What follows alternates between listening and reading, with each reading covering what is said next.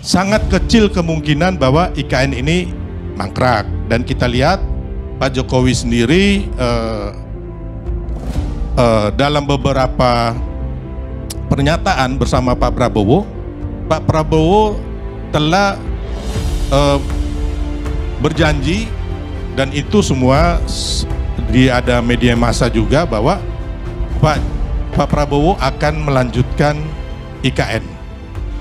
Saya bayangkan aja bahwa oke, setelah presiden minta izin, proses politik pindah ibu kota itu. Oke, sekarang kita uji lagi tuh. Setelah ibu kota pindah, asumsinya adalah jadi green city. Tapi dia lokasinya di tengah anak benua. Jadi you mesti pakai pesawat ke situ. Artinya frekuensi pesawat untuk tiba di ibu kota dari 100 kali sehari jadi 1000 kali sehari. Saya bayangkan berapa tahun ke depan itu. Jadi berapa banyak kebisingan yang dihasilkan yang mengganggu burung, ular, kecoa, cebong, kampret di anak benua itu. Saya bicara tentang environmental ethics. Berapa banyak private jet yang terpaksa mesti ke Kalimantan karena mesti KKN.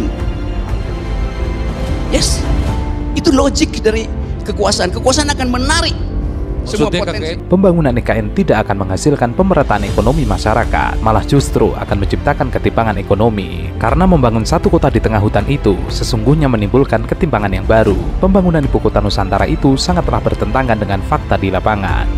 Apalagi, pembangunan kota baru hanyalah akan membuat ketimpangan dengan daerah sekitarnya. Jadi antara tujuan dengan langkah yang dikerjakan tidak nyambung. Membangun Indonesia tidak cukup dengan membangun satu kota, akan tetapi harus membangun dan membesarkan seluruh kota yang ada di Indonesia. Saya bilang saya mau uji idenya itu. Kalau tingkat korupsi kita, persepsi tentang korupsi masih tinggi, maka berhak orang untuk mempersepsikan bahwa akan banyak private jet pergi ke ibu kota baru untuk KKN. Apa yang salah dalam logika itu? Satu ya. Oke. Yang kedua dan yang terakhir. Kita bayangkan bahwa Kalimantan itu paru-paru dunia. Itu yang kita banggakan.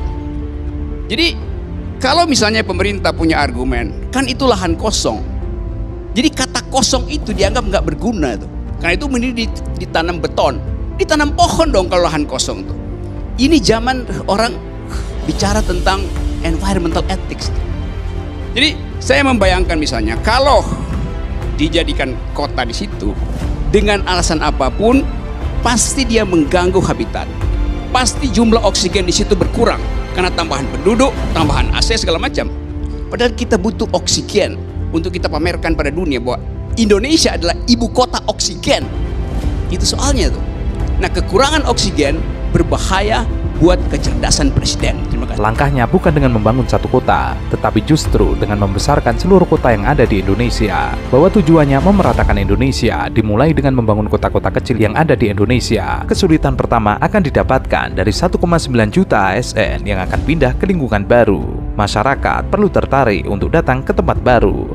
Pertama-tama mereka perlu melihat infrastruktur yang kuat seperti sekolah, rumah sakit, dan fasilitas perumahan atau mereka tidak akan tertarik untuk pindah ke sana. Masalah kedua kemudian muncul dari segi pendanaan. Pembangunan Nusantara diperkirakan menelan biaya sekitar 35 miliar US dollar. Namun pemerintah hanya berkomitmen untuk menginvestasikan 20% dari dana yang dibutuhkan. Pemerintah Jokowi berharap sisa 80% pendanaan akan berasal dari investor asing. Namun ada keraguan untuk menyalurkan dana ke proyek tersebut dan hal ini semakin menggagalkan kemajuan pembangunan IKN. Antara Anda ini semua serba carut marut pemerintah itu. Ya kan? Terutama juga ibu kota negara Indonesia. Jangan Anda memberi virus kepada ini untuk menggagalkan ibu kota Indonesia pindah Kalimantan Timur. Sekarang saya ingin tahu, kalau Anda jadi presiden, ya, apa yang Anda pikirkan untuk negara ini, untuk Republik Indonesia ini dengan segala permasalahannya? Ya, kita ingin dengar karena juga pengusaha ini terpengaruh dengan statement-statement Anda dan sini nggak ada yang dungu. Di sini nggak ada yang dungu. Bang Rocky, ya. Mungkin di sana yang dungu, di sini nggak ada yang dungu. Terima kasih. Ya, kalau datang ke sini berarti nggak dungu berarti. Silakan Bung Rocky. Jadi pertanyaannya kalau saya jadi presiden Pasti saya akan berbohong lagi karena saya akan ikuti presiden sebelumnya yang berbohong itu.